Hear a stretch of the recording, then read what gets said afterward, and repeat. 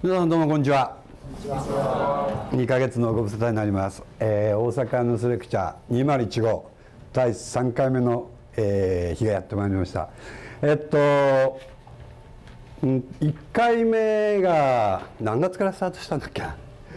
5月からそれで3ヶ月間2回目がちょっと間空いてて、えー、今回は2ヶ月ということで前回の内容ちゃんと覚えてますか？あのちょっと前回ちょっとねニュースの本論に入ってきたので途中空気が重くなった記憶があるんだけど今日は、えー、テーマは、えー、カタカムナと素粒子ということでやっていこうと思うんですが本当だったらねカタカムナは入れる予定じゃなかったんですよ。あのゴリゴリに素粒子の話をしようと思ってたんだけど前回の様子を見てこれはまずいとちょっとあの何て言うかなカタカムナの話と混ぜながら素粒子をやった方が素粒子に対してまあなんか親近感が出てくるんじゃないかなと思ってこういうテーマにしました。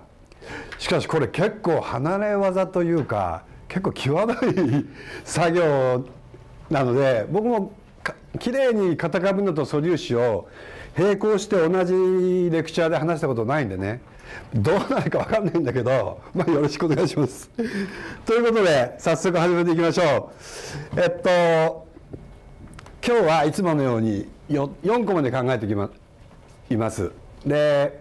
とりあえず最初にカタカムナの話をね中心にしていって、えー、2枠目まではまあカタカムナ中心に話して3枠目から本格的に素粒子の話もちろん素粒子の話といってもここでやる話はもちろん現代物理学としての素粒子の話はしますけどもヌーソロジーの素粒子解釈を交えながら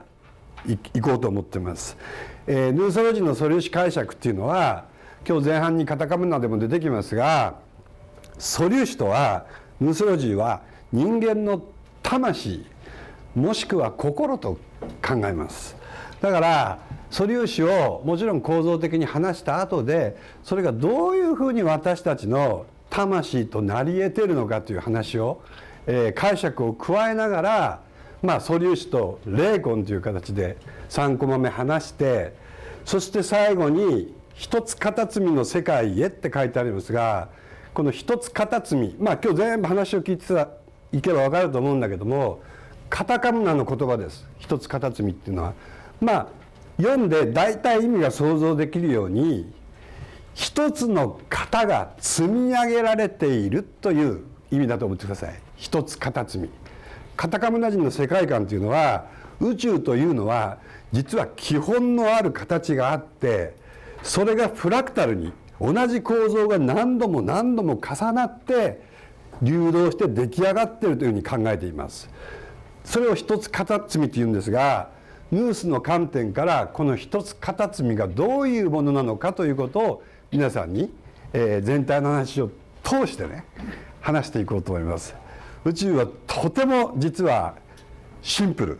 あの現代物理学とか素粒子の構造とかもう数式ですっごい複雑に書いてるんだけどもその背後にある本当の形っていうかそれが見えてくるとえー、猿でも分かる。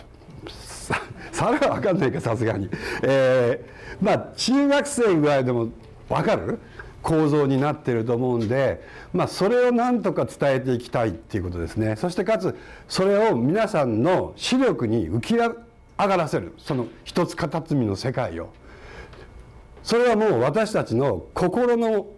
奥にずっと続いているあるこう心的空間まあ霊的空間って言ったら分かりやすいかもしれないけどその世界なんですけどそしてそこに向かって私たちの眼差しを、えー、物質界から、まあ、カタカムナで言うならその戦勝界を貫いている一つ片隅の世界の方に私たちの意識を反転させるというのがヌースの狙いですから